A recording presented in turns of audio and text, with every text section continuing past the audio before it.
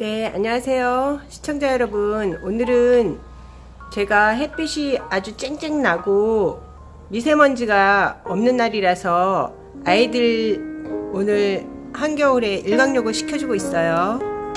네, 저희 아이들입니다. 네, 일광욕을 시켜주고 있답니다. 네, 저쪽에 염자, 라울까지.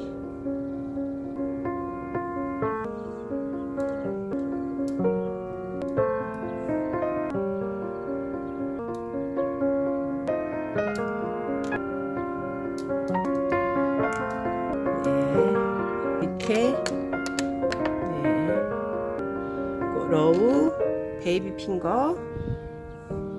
또 모듬 신캐줬던 식물들 네, 이쁜 꽃.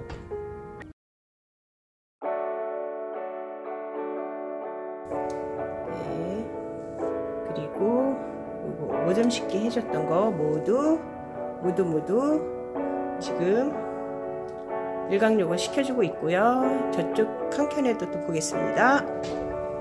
네, 네, 또 반대쪽에 조그만 것들 네, 만손초, 러우, 누다, 또 이게 청성민, 레티지아, 에비나, 유엔의 진주, 네, 운동자금, 치아와, 요거는 Blue Elf